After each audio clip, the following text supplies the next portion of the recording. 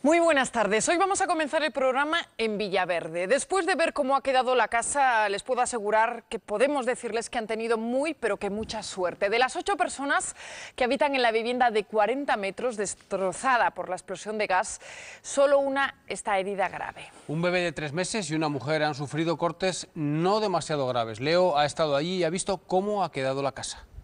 Contacto con nosotros María y su hija María del Mar para denunciar que a principios del mes pasado, del mes de abril, se empotró un coche contra la fachada de su casa. Entre el seguro del hogar y el del coche siniestrado no se ponen de acuerdo y ellas, entre tanto, pues ya saben, sufren las consecuencias, se llevan un mes sin gas, sin poder cocinar y con el susto en el cuerpo. A ser solidarios y esta vez con camiseta. Las tiendas de moda, como van a comprobar, nos lo ponen muy, pero que muy fácil.